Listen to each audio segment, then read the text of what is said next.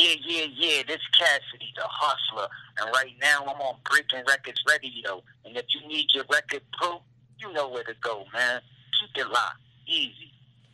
Hey yo, hey yo, it's your boy Monster Man Rocco. It's your boy Swagger Rock. This is Snack Ripper. And you rap for those who don't know.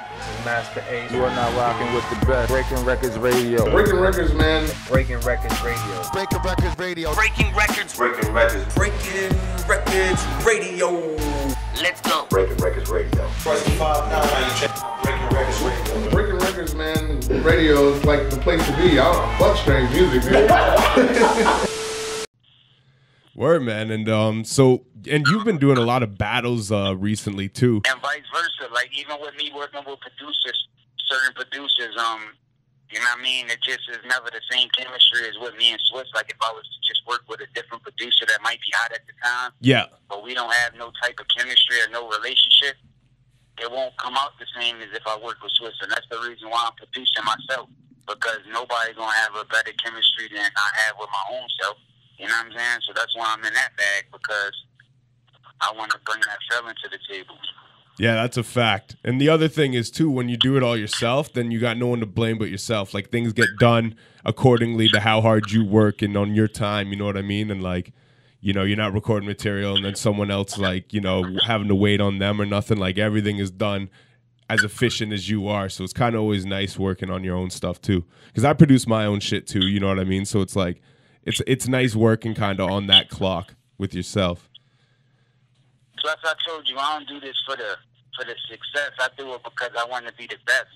So it's nothing like the feeling of somebody like when you tell me that you feel Barry time, and I know that I didn't only just write hundred percent of it. The whole idea, the whole direction, the flow, the transition of the flows is all me. But not just that, I produced it from scratch, and it's no sample. Yeah. So it's no help, it's no direction. It don't sound like no other beat on the radio. It's my own zone. And my own zone with the lyrics. Even the title is Barry Time. It's so personal. Right, you know what I'm saying? Everything is personal with that song. So when people like it and tell you that they like it, there's nothing like that feeling. It's a lot different than if you was just rapping on an instrumental or something like that. It's a completely different feeling when you put a whole record together on your own and and um the people feel it. No, that's a fact, man. That's a fact. And actually, to, before we do move on, actually, too, that's what another thing I wanted to ask you. But um, who were some, like who was your biggest inspiration as a producer to make you want to start producing, or would that have been Swizz probably? Well, yeah, um, I would have to say uh, Swizz um, is my biggest inspiration. But there was other inspirations um, at different times, like uh, Neo Da Matrix. That's another producer that I've been working with since the beginning. Yep. He was an inspiration. Um, even like Vinylz, he a big producer right now, nominated for Grammys. He's working with Boi-1da and Drake and all of them right now. But he started off with me.